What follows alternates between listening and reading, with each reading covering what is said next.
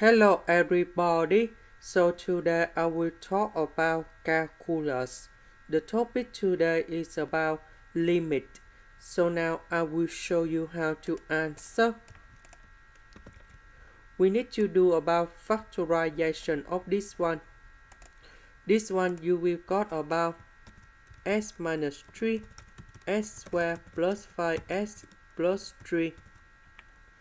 This one in here you will got about s minus 3 s plus 2. We simplify s minus 3 on numerator and denominator.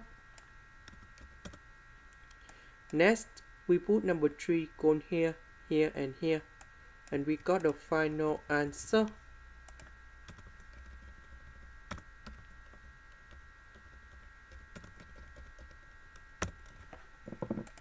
You will got about 27 over 5.